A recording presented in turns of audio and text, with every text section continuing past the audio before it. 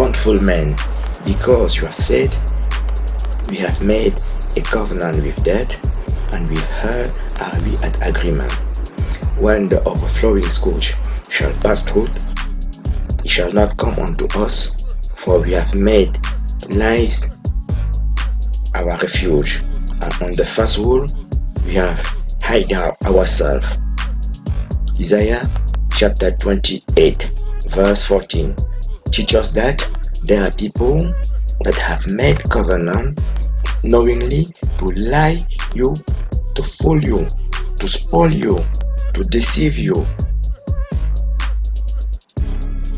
on any visible thing, not even spiritual ones, but visible ones, which is the definition of anti science.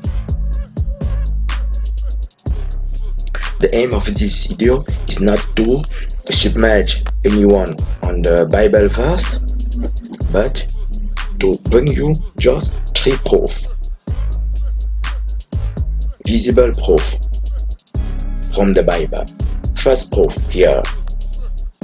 Pharaoh Ramses Genesis 47 described with a great amount of accuracy the Pharaoh Ramses that we see today in Egypt, like on this uh, sculpture here, this slide here. Also visible in many museums worldwide. Pharaoh Tirhakah, Pharaoh Necho, Augustus Caesar, and many other archaeological artifacts are well described in the Bible that anyone can check, experience, and see with his eyes repeatedly. The Bible speaks also about the flood, the giant which was unheard.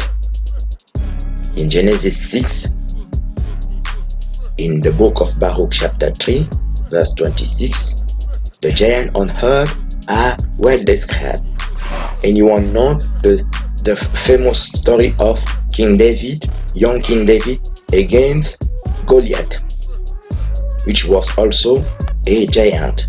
We can see the fossil of this giant on earth. This is the second proof. First proof, Pharaoh Ramses in Genesis 47. Second proof, Augustus Caesar. And the third visible proof, the giant on earth which was evil people delighting in war. I produce in this video up to a hundred slides with many visible verse that can anyone can uh, check by himself. Bible speaks also of many uh, prophecy from of today. In Matthew 24, Bible say that there will be many war in diverse places, many earthquakes, many famine. All these are true.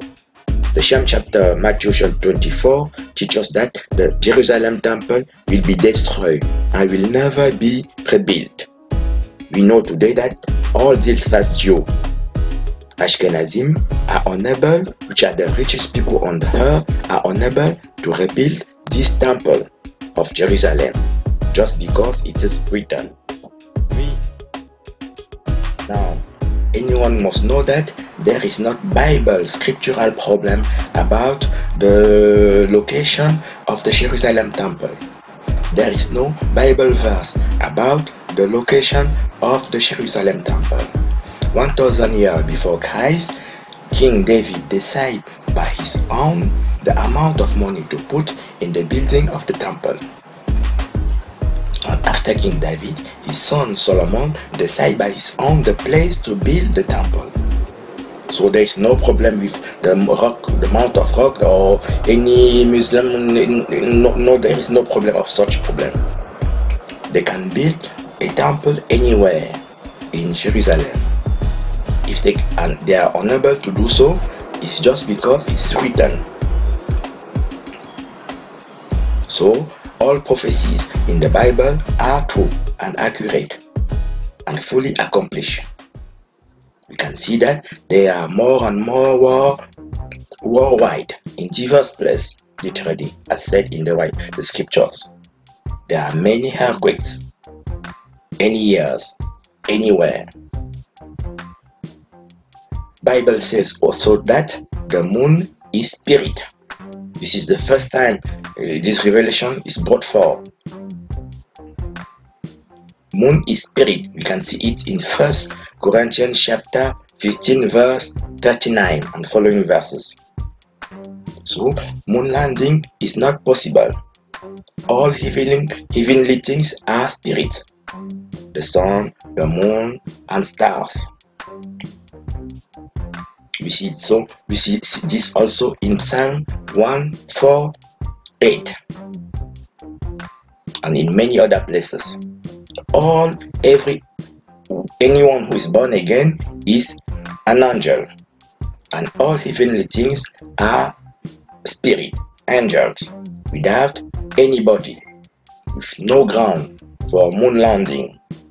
So, just from these verses, we know that moon landing is a scam, hoax, humbug.